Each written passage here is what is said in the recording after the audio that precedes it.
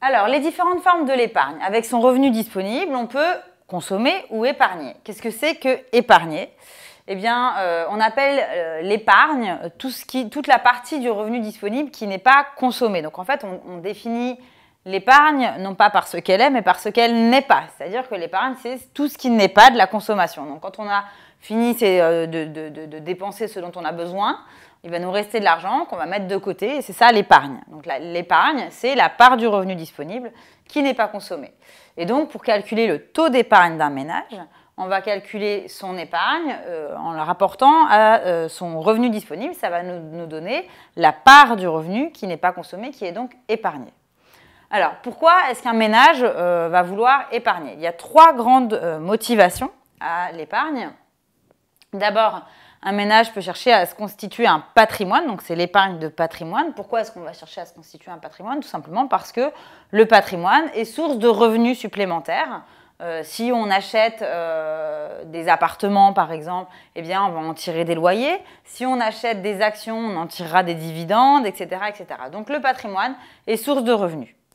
La deuxième raison pour laquelle on peut chercher à épargner, c'est tout simplement de se mettre en mesure de faire face à des dépenses aléatoires, imprévues, euh, par exemple, être capable de faire face à des dépenses de santé ou être capable de faire face à une situation où on se retrouve au chômage, etc. Donc on peut aussi épargner.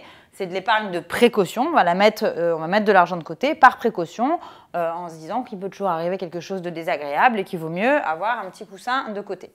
Et enfin, on peut aussi épargner parce qu'on prévoit euh, des dépenses importantes.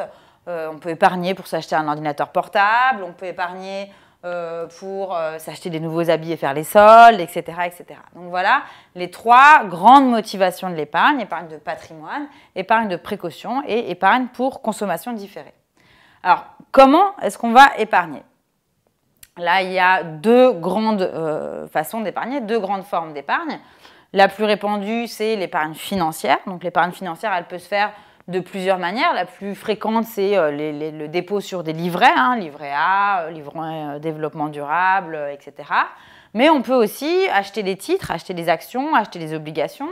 On peut aussi souscrire un certain nombre de contrats d'assurance, des assurances vie, etc., etc., assurance retraite, etc. Tout ça, ce sont des formes d'épargne financière, tout simplement parce qu'on met de l'argent de côté sous forme monétaire. Mais il y a aussi l'épargne non financière ou investie, c'est-à-dire qu'on va mettre de l'argent de côté en investissant, notamment dans des biens immobiliers. Alors, euh, quel va être le principal déterminant de l'épargne? Qu'est-ce qui va me décider à euh, mettre davantage ou un peu moins d'argent de côté? Bah, Le principal déterminant de l'épargne, c'est le taux d'intérêt.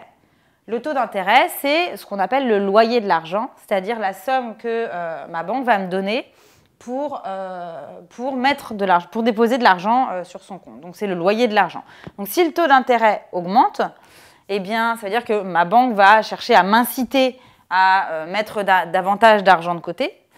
Et donc, en, plus je vais laisser de l'argent de côté, plus je vais épargner, plus j'en retirerai moi-même de l'argent plus tard. donc, donc quand le taux d'intérêt augmente, l'épargne a tendance à augmenter. Inversement, si le taux d'intérêt diminue, j'ai moins d'intérêt à mettre de l'argent de côté puisque ça va moins me rapporter d'argent. Et donc, en général, quand le taux d'intérêt diminue, eh bien, euh, le taux d'épargne va diminuer aussi. L'épargne va diminuer aussi. Alors, pourquoi est-ce que la banque ou, la, va chercher à augmenter ou à diminuer le taux d'intérêt, donc à m'inciter ou euh, à, éventuellement mettre davantage d'argent de côté? Parce que tout simplement, les banques, elles, euh, elles utilisent cet argent, elles aussi, euh, des fois pour le prêter à d'autres agents économiques. Et donc, euh, donc, elle peut avoir intérêt à ce que je dépose davantage d'argent de côté. Et pour, pour m'inciter à le faire, elle va me rémunérer avec les taux d'intérêt.